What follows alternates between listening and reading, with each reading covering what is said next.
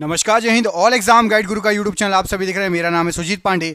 यहाँ पर आपके लिए पिछले 30 साल से बार बार एग्ज़ाम में पूछे गए प्रश्न लेकर आ गए हैं। सभी क्वेश्चन बहुत इंपॉर्टेंट है। करते वीडियो को स्टार्ट पहला क्वेश्चन है, पैठण जल विद्युत परियोजना या हाइड्रो इलेक्ट्रिक प्रोजेक्ट ये किस नदी पर है?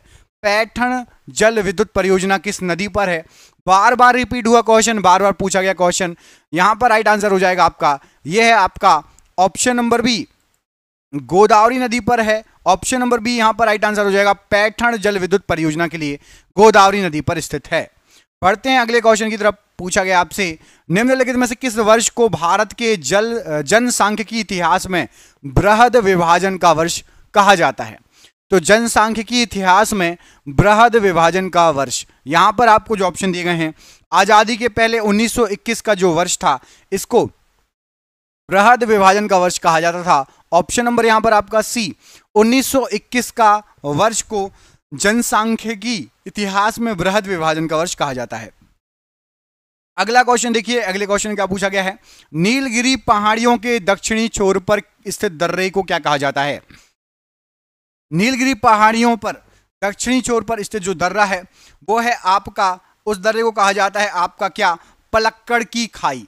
ऑप्शन नंबर सी पलक्कड़ की खाई कहा जाता है। ऑप्शन नंबर सी पलक्कड़ की खाई राइट आंसर हो जाएगा इस प्रश्न के लिए। अगला क्वेश्चन देखिए, पूछा गया इसमें कि पेडोलॉजी किसका विज्ञान है? पेडोलॉजी किसका विज्ञान है? यहाँ पर आपको जो ऑप्शन दिए गए हैं राइट आंसर क्या हो जाएगा? पेडोलॉजी के लिए।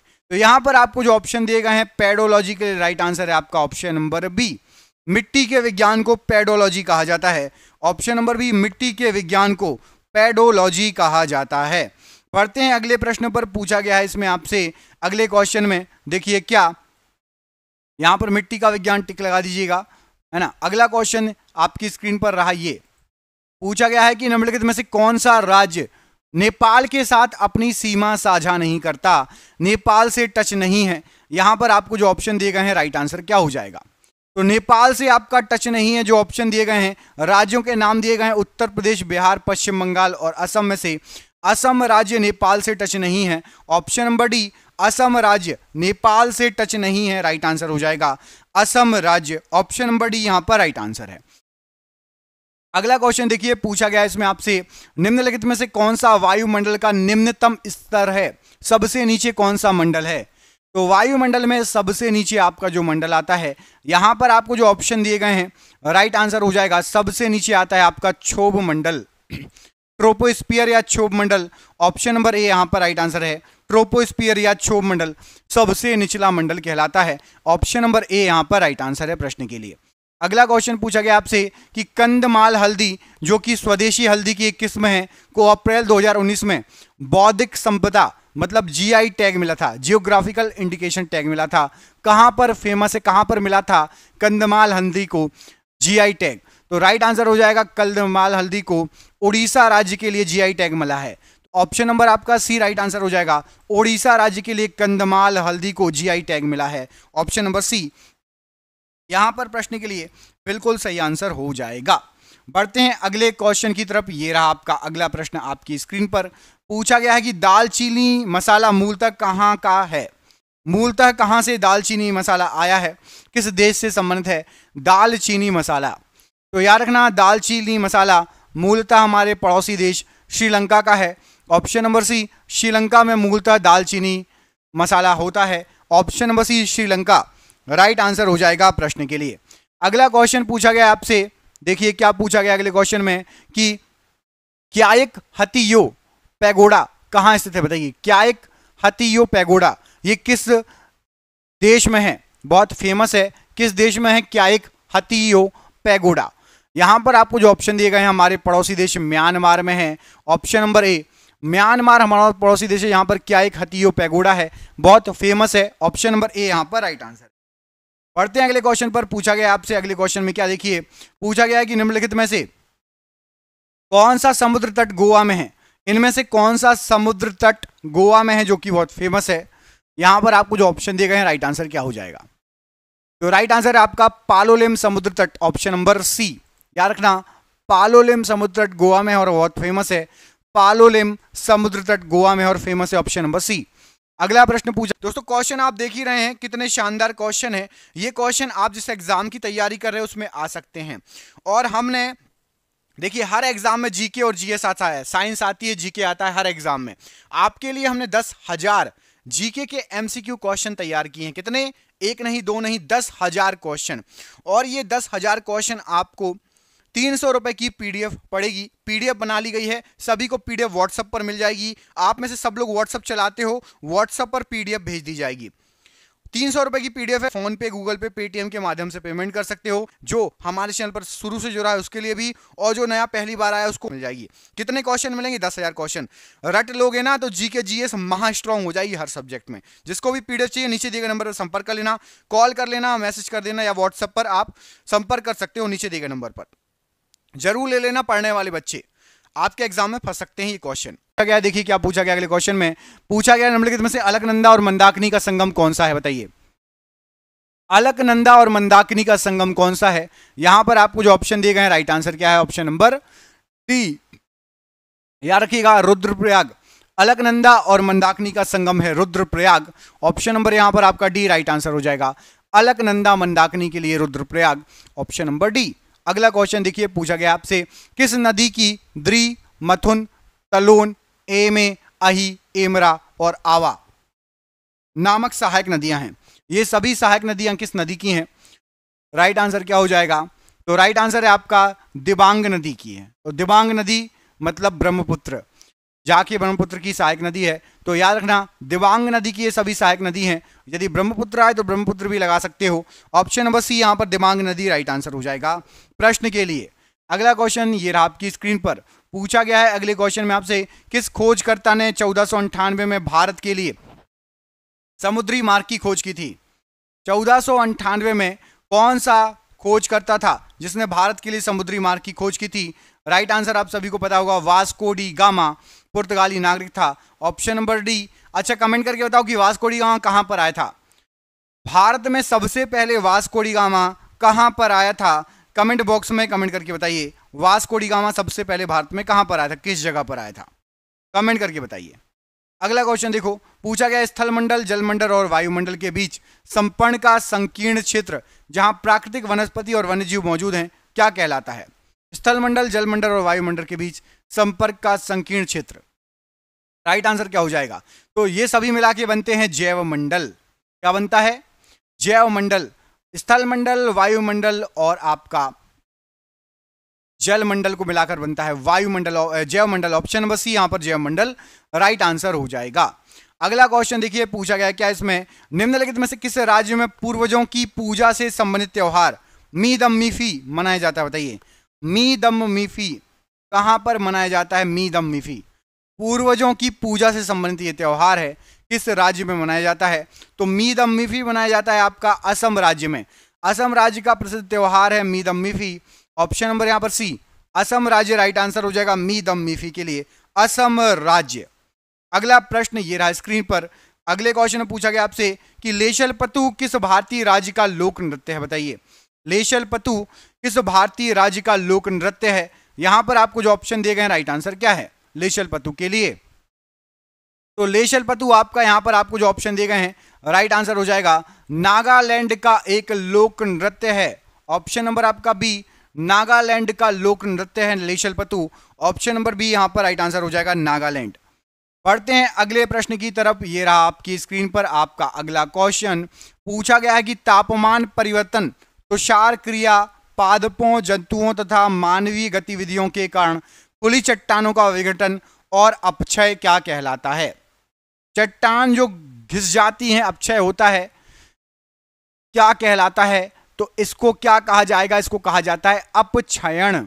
याद रखना ऑप्शन नंबर सी चट्टानों का हो जाता है अपक्षयण। किसके कारण? तापमान में परिवर्तन के कारण, तुषार क्रियाओं के कारण, पादपों, जंतुओं, मानव गतिविधियों तथा खुली चट्टानों के विघटन के कारण अपक्षयण हो जाता है चट्टानों का। ऑप्शन नंबर यहाँ पर सी अपक्षय, अपक्षयण। राइट आंसर हो जाएगा। अगला क्वेश्चन देखो ये रहा स्क्रीन पर। पूछा गया अगले क्वेश्चन में, किस खनिज को बरीड शनसाइन के रूप में जाना जाता है? बरीड शनसाइन के रूप में, यहाँ पर आपको जो ऑप्शन दिए गए हैं, किस खनिज को जाना जाता है? राइट आंसर क्या हो जाएगा? Buried sunshine. किसको कहा जाता है? राइट आंसर आपका, कोयले को वरीड शनसाइन कहा जाता है।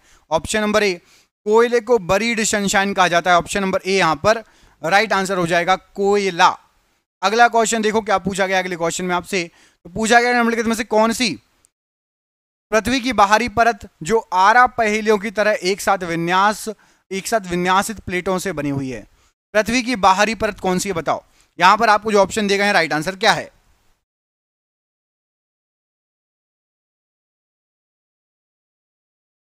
तो यहाँ पर जो ऑप्शन आपको दिए गए हैं राइट आंसर हो जाएगा स्थल मंडल।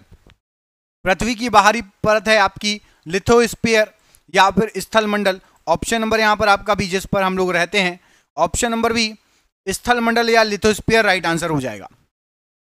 अगला क्वेश्चन देखिए क्या पूछा गया है। पूछा गया किस खनिज को मूर्खों का सोना भी कहा जाता है, बताइए। इनमें से किस खनिज को मूर्खों का सोना भी कहा जाता है? राइट आंसर क्या हो जाएगा? मूर्खों का सोना भी कहा जाता है। कौन से खनिज को कहा जाता है? राइट आंसर क्या बताइए। राइट आंसर हो जाएगा आपका pyrite option number D pyrite को मूर्खों का सोना भी कहा जाता है। Option number D pyrite right answer है, को मूर्खों का सोना भी कहा जाता है। पढ़ते हैं अगले क्वेश्चन की तरफ़। ये रहा आपका अगला प्रश्न, पूछा गया क्या इसमें? पूछा गया कि अलास्का और उत्तरी कनाडा जैसे ध्रुवीय क्षेत्रों में जब आकाश में चमकीले रंग प्रदर्शित होते हैं तो उस भौतिक प्रतिघटना को क्या कहा जाता है? रात में आपका आकाश रंग बिरंगी दिखाई देता है अलग अलग कलर के रंग चमकते हुए प्रतीत होते हैं। इस घटना को क्या कहा जाता है? तो हिंदी में कहा जाता है Sumeru Jyoti. Option number A Sumeru Jyoti. Right answer हो जाएगा Sumeru Jyoti. Option number A यहाँ पर राइट आंसर है, इस प्रश्न के लिए। अगला क्वेश्चन देखिए, पूछा गया आपसे हिम तेंदुए का निवास स्थान हेमिस नेशनल पार्क कहाँ पर है, बताओ? हेमिस नेशनल पार्क, जो कि हिम तेंदुए का निवास स्थान है, यहाँ पर आपको जो ऑप्शन दिए गए हैं राइट आंसर क्या हो जाएगा? हिम तेंदुए के लिए। तो हेमिस नेशनल पार्क हिम तेंदुए का निवास स्थान लद्दाख में है। आपका option number C, Ladakh right answer हो जाएगा इस प्रश्न के लिए। लद्दाख में है Hemis national park. Option number C, Ladakh यहाँ पर राइट आंसर हो जाएगा। अगला क्वेश्चन देखो। अगले प्रश्न में आपसे क्या पूछा गया है? सूर्य पृथ्वी को किस माध्यम द्वारा ऊष्मा देता है? सूर्य पृथ्वी को किस माध्यम के द्वारा ऊष्मा देता है? राइट आंसर क्या हो जाएगा?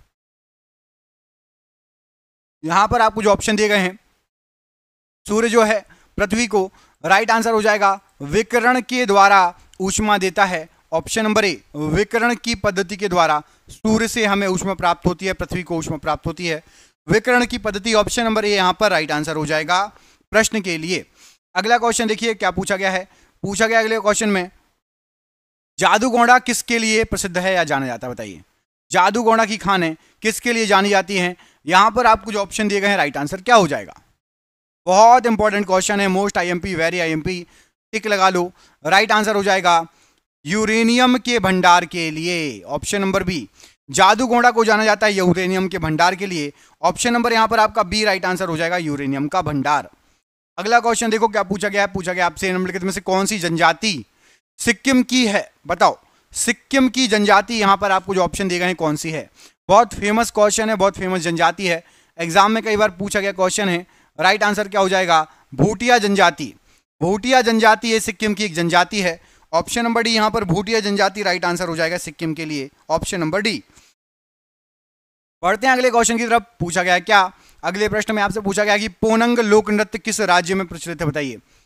पोनंग लोक नृत्य किस राज्य में प्रचलित है? राइट आंसर क्या हो जाएगा? पोनंग लोक नृत्य के लिए। यहाँ पर आपको जो ऑप्शन दिए गए हैं राइट आंसर है। Arunachal Pradesh option number C याद रखिएगा, पोनंग लोक नृत्य अरुणाचल प्रदेश में फ़ेमस है, प्रसिद्ध है। ऑप्शन नंबर यहाँ पर आपका सी राइट आंसर हो जाएगा। अरुणाचल प्रदेश। अगला क्वेश्चन देखो।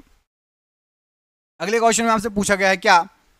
निम्नलिखित में से कौन सी श्रेणी हिमालय के अनुदैर्ध्य विस्तार में इसकी तीन समानांतर श्रेणियों में से एक नहीं है? हिमालय की श्रेणियों में से एक नहीं है। यहाँ पर आपको जो ऑप्शन दिए गए राइट आंसर क्या हो जाएगा? तो हिमाद्री शिवालिक और हिमाचल है। हिमशिखा श्रेणी नहीं है।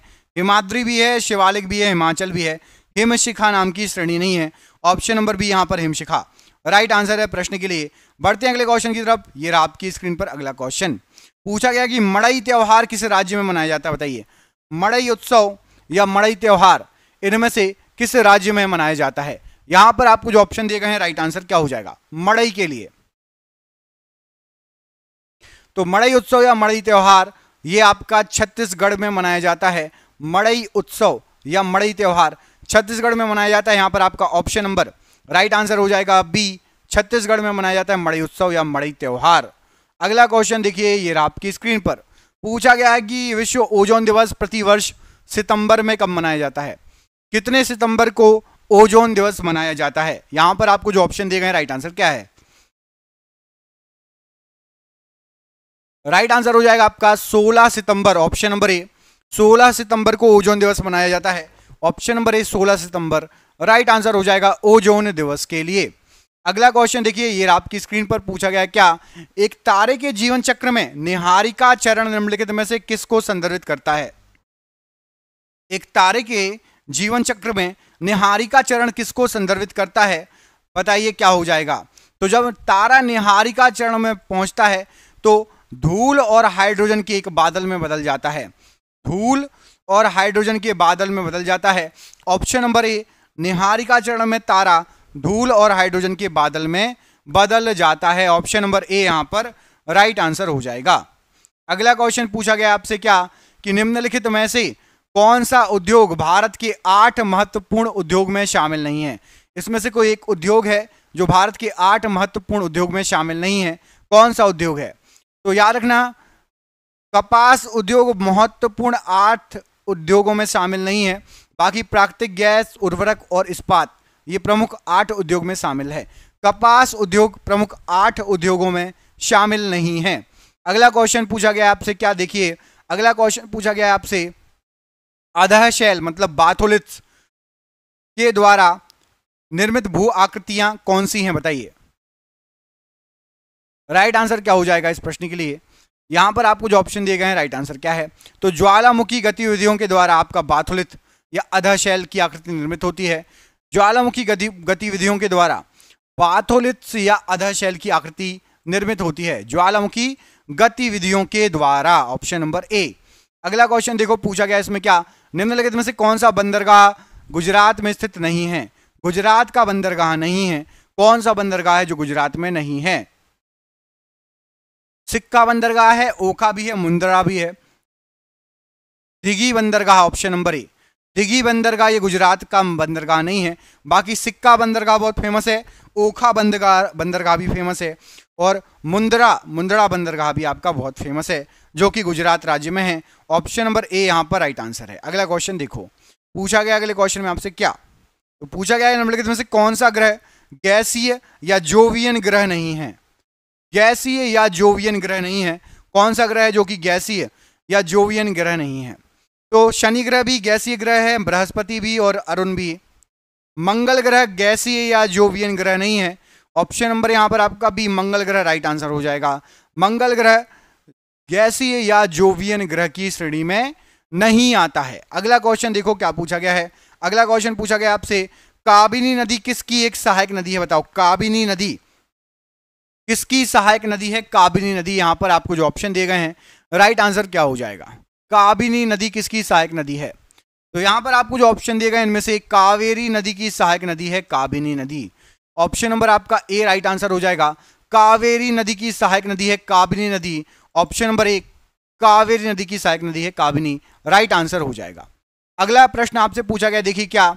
पूछा गया है कि भारत के किस राज्य को भारत की रोटी की टोकरी का लोकप्रिय नाम दिया गया है? भारत की रोटी की टोकरी का लोकप्रिय नाम दिया गया है भारत के किस राज्य को? तो याद रखना, भारत के पंजाब राज्य को रोटी की टोकरी का प्रसिद्ध नाम दिया गया है। ऑप्शन नंबर यहाँ पर आपका डी, राइट आंसर हो जाएगा। पंजाब राज्य को भारत की रोटी की टोकरी का लोकप्रिय नाम दिया गया है ऑप्शन नंबर डी यहाँ पर। राइट आंसर हो जाएगा। अगला क्वेश्चन पूछा गया कि यूरोपा किस एक का प्राकृतिक उपग्रह है? यूरोपा किसका प्राकृतिक उपग्रह है? यहाँ पर आपको जो ऑप्शन दिए गए हैं, राइट आंसर क्या हो जाएगा? यूरोपा के लिए। यूरोपा किसका प्राकृतिक उपग्रह है? तो यहाँ पर आपको जो ऑप्शन दिए गए हैं, राइट आंसर हो जाएगा। यूरोपा बृहस्पति का एक प्राकृतिक उपग्रह है। ऑप्शन नंबर बी बृहस्पति का एक प्राकृतिक उपग्रह यूरोपा। ऑप्शन नंबर यहाँ पर आपका बी बृहस्पति। राइट आंसर हो जाएगा इस प्रश्न के लिए बृहस्पति। अगला क्वेश्चन देखिए, पूछा गया आपसे क्या? तो पूछा गया कि भारत में बंदरगाह आधारित विकास को बढ़ावा देने के उद्देश्य से आधारभूत संरचना विकास परियोजना को क्या नाम दिया गया है? तो भारत में बंदरगाह आधारित विकास को बढ़ावा देने के लिए आधारभूत परियोजना, उसको सागरमाला नाम दिया गया है। ऑप्शन नंबर ए सागर माला नाम दिया गया है। ऑप्शन नंबर ए यहाँ पर सागर माला राइट आंसर हो जाएगा सागर माला अगला क्वेश्चन देखिए क्या पूछा गया है। पूछा गया है आपसे कि कोरंडम किसका अयस्क है? बताइए। कोरंडम इनमें से किसका अयस्क है? यहाँ पर आपको जो ऑप्शन दिए गए हैं। राइट आंसर क्या हो जाएगा? कोरंडम के लिए। कोरंडम जो है, किसका अयस्क है? राइट आंसर क्या है? तो यहाँ पर आपको जो ऑप्शन दिए गए हैं राइट आंसर हो जाएगा। कोरंडम जो आपका है, ये आपका एल्यूमिनियम का अयस्क है। Option number D corundum aluminium का अयस्क है। ऑप्शन नंबर डी, एल्यूमिनियम यहाँ पर राइट आंसर है प्रश्न के लिए। पढ़ते हैं अगले क्वेश्चन की तरफ़। अगले क्वेश्चन में आपसे क्या पूछा गया? देखिए तो पूछा गया अगले क्वेश्चन में कि सूरमा नदी, जिसे बराक नदी के नाम से भी जाना जाता है, कहाँ से निकलती है बताओ? शूर, सूरमा नदी, जिसे बराक नदी के नाम से भी जाना जाता है। यहाँ पर आपको जो ऑप्शन दिए गए हैं, कहाँ से निकलती है सूरमा नदी बताइए। राइट आंसर क्या है? तो राइट आंसर है मणिपुर की पहाड़ियों से निकलती है सूरमा नदी। ऑप्शन नंबर ए मणिपुर की पहाड़ियों से निकलती है सूरमा नदी। ऑप्शन नंबर आपका ए राइट आंसर हो जाएगा। मणिपुर की पहाड़ियों से। अगला प्रश्न देखिए क्या पूछा गया अगले क्वेश्चन में। पूछा गया कि निम्नलिखित में से किसका अक्षांश नई दिल्ली के अक्षांश के एक डिग्री भीतर है? यहाँ पर किसका अक्षांश नई दिल्ली के अक्षांश के एक डिग्री भीतर होगा? तो याद रखना, एवरेस्ट पर्वत का जो अक्षांश है नई दिल्ली के अक्षांश के एक डिग्री भीतर है। ऑप्शन नंबर यहाँ पर ए एवरेस्ट पर्वत राइट आंसर हो जाएगा प्रश्न के लिए। किसके दौरान बेली के मनकों को देखा गया था बताइए। बेली के मनकों को किसके दौरान देखा गया था? तो यार दे, देखा जा सकता है। तो बेली के मनकों को पूर्ण सूर्य ग्रहण के दौरान देखा जा सकता है। ऑप्शन नंबर डी पूर्ण सूर्य ग्रहण के दौरान। असम के किस शहर में ब्रह्मपुत्र नदी अपने पश्चिम की ओर से कट के दक्षिण में बांग्लादेश में प्रवेश करती है? तो असम का एक शहर है आपका धुबरी जहाँ से बांग्लादेश कट जाती है। और भारत ब्रह्मपुत्र कट जाती है और बांग्लादेश में प्रवेश कर जाती है ब्रह्मपुत्र नदी। ऑप्शन नंबर सी यहाँ पर राइट आंसर हो जाएगा। ये हो गया आज का वीडियो। क्वेश्चन कैसे लगे? वीडियो कैसा लगा? हमें कमेंट करके ज़रूर बताइएगा। हम मिलेंगे आपसे अगले वीडियो में। आप अपना ख्याल रखिए। हमारे चैनल पर और भी आपको बहुत सारे ऐसे वीडियो मिल जाएँगे। तो जाके ज़रूर देखिएगा। मिलते हैं आपसे अगले वीडियो में। अपना ख्याल रखिए। आप सभी का बहुत बहुत धन्यवाद दोस्तों। आपका दिन शुभ हो। जय हिंद, जय भारत।